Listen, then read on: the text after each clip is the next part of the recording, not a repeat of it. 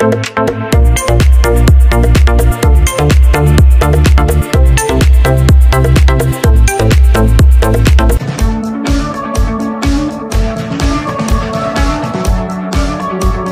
friends, welcome back to my channel and welcome if you're new. This is the only nail prep video you need because this method works for polygel and acrylic nails. So let's just get straight into the video.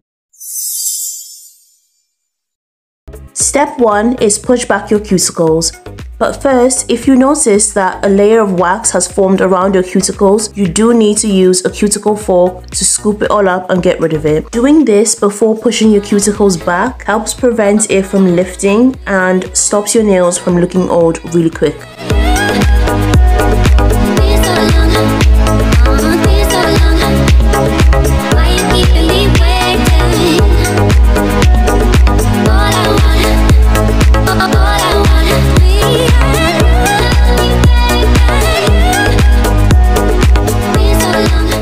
Now you have clean cuticles, take the cuticle pusher and push as far back as you can.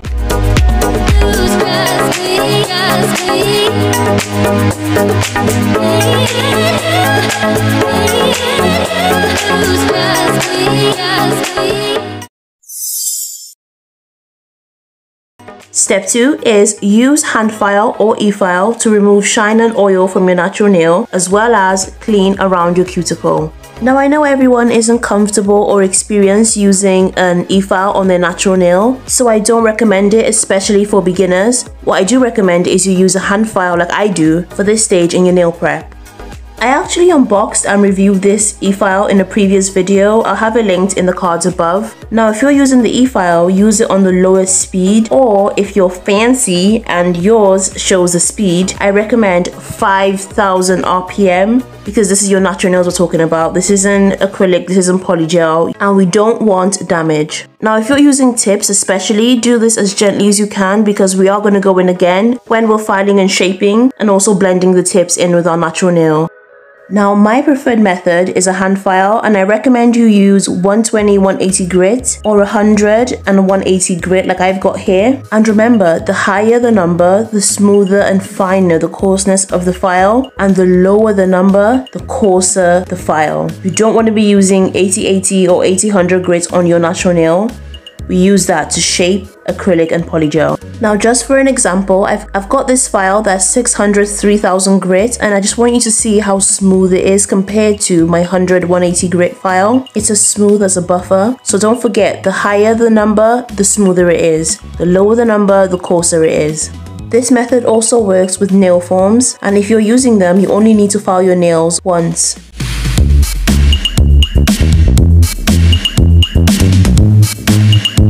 Música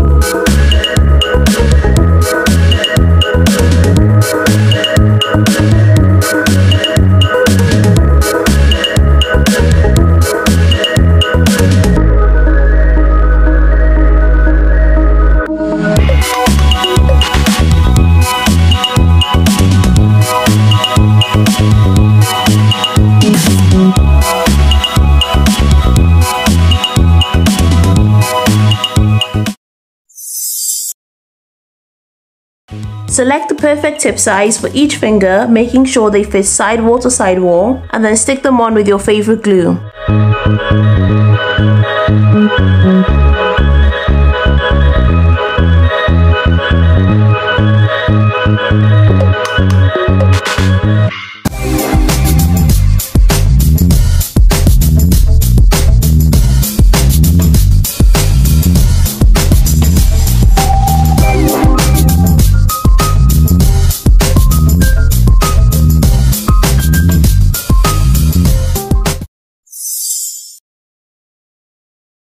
Now the tips are stuck on, get a nail trimmer and trim your tips down to the desired length.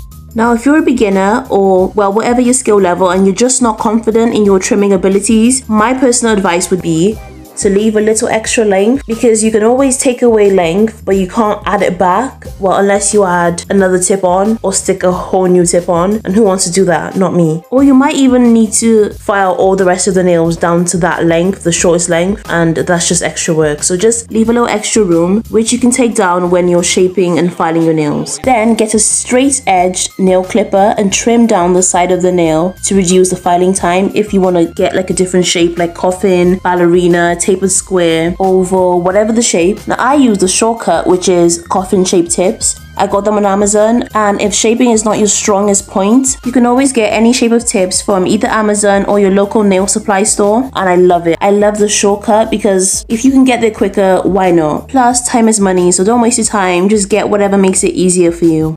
Now, once you've clipped the sides in, take your nail file to shape the nail and blend the tip in with your natural nail.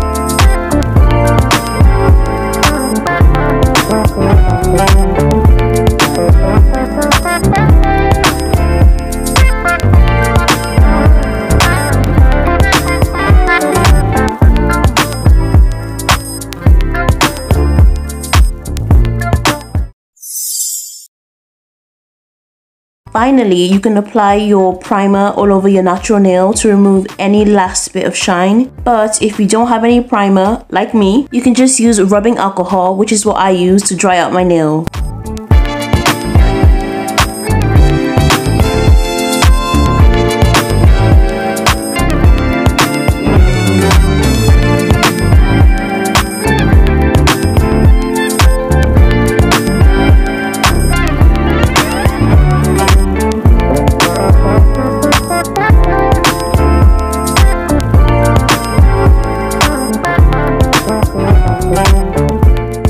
So this is the ultimate fail-proof method to make your nails last. Trust me. Just try it out for yourself and let me know how well it works for you. And thank you so much for watching my video all the way to the end. Just hit the subscribe button and I'll see you in my next video. Bye!